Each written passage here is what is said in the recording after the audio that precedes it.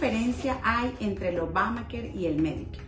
El Obamacare es para las personas que tengan un estatus migratorio vigente que sean menores de 65 años.